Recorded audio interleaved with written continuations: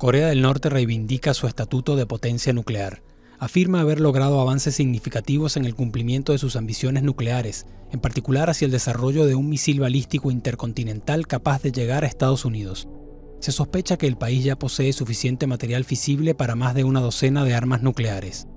Desde 2006 ha realizado varios ensayos nucleares cada vez más potentes. En septiembre de 2016, Pyongyang afirmó que había realizado una prueba nuclear utilizando una ojiva miniaturizada lo suficientemente pequeña como para caber en un misil.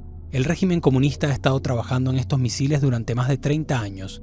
En 1984, Pyongyang probó una versión del Scud-B soviético con un radio de 300 kilómetros. Luego el país mejoró el alcance de sus misiles a 1300 kilómetros con el Rodon 1.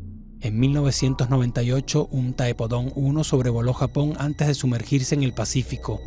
Luego de una moratoria de más de cinco años sobre los cohetes de largo alcance, el país llevó a cabo en 2006 una serie de ensayos, todos fallidos, incluyendo un Taepodon 2 capaz de alcanzar Alaska.